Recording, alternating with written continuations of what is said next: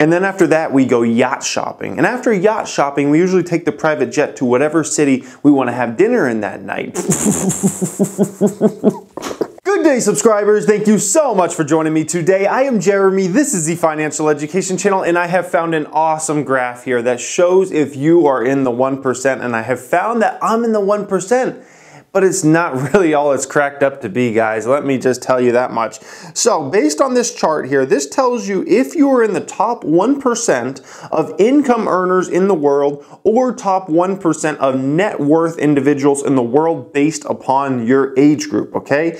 So if we look at income first, since that's the first line there, uh, I just turned 28 years old, so I'm kind of in between that 25 and 30 year old range there. In 2018, I'll probably do, if it's a bad year, I'll probably do about $175,000 in income. If it's a great year, I'll probably do around $300,000. so that does put me in the top 1%. And then if we go over there and we look at top 1% of net worth, uh, I had over $200,000 alone in my stock market brokerage account when I was 25 years old. You only need to have $80,000 when you're 25 to be in the top 1% of your class there, guys. So what is it like? What is it like to be in the 1%?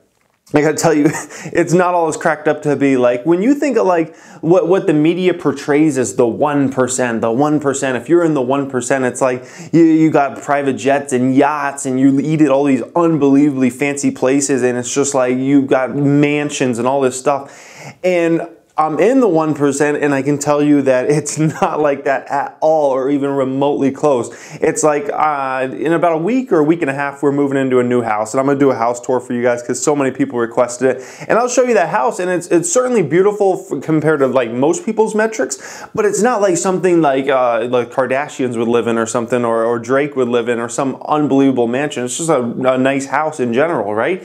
So you guys will get to see that and, and like my whole thing about the 1% is it's like it, just because you're in the 1% does not mean you're rich. I've never once, in, I've never one day in my life felt like I'm rich, felt like I'm wealthy with the money and whatnot because it's like, like you've got to have so many millions upon millions of dollars in this world, in my opinion, at least to feel rich and, and get those type of things that, that you're sold that the 1% have, right? The Lamborghinis and the Rolls Royces and the, the mansions and all that stuff. Like that's, that's like the 1% of the 1% in my opinion. The 1%, there's just a, a bunch of people that are really doing well in life, that are doing good, that don't have to worry about, you know, uh, crunching numbers and whatnot. Uh, you don't have to worry about you know, uh, where the money's coming from for the mortgage payment or the car payment or whatever it is. They don't have to worry about that. But at the same time, it's not like we're like in a, in a situation where we're balling out of control. That's really like the 1% of the 1%, okay? So it's a different ball game, guys, but it's certainly awesome. And I want to know in that comment section